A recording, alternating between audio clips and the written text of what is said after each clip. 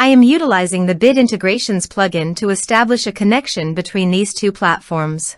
Let's go to Bit Integration Dashboard. Now click Create Integration. Now search for trigger which is Piotnet add-ons form.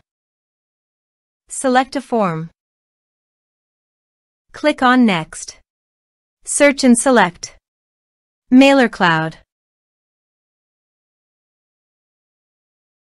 Give here the API key so click on Visit here.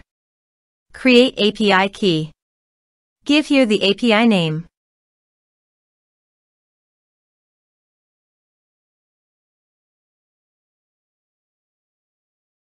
Generate key.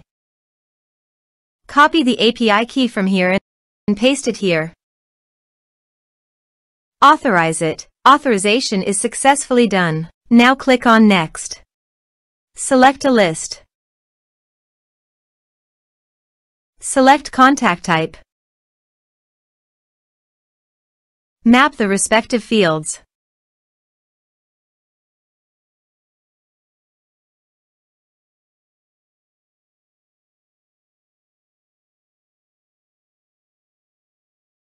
Click on Next. Finish and save it. Let's submit a form.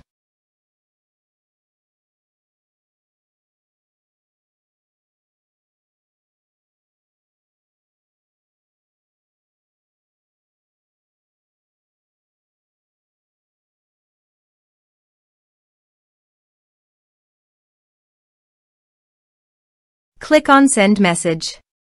Form submitted successfully. Now go to the Mailer Cloud. And you can see the data came successfully in Mailer Cloud.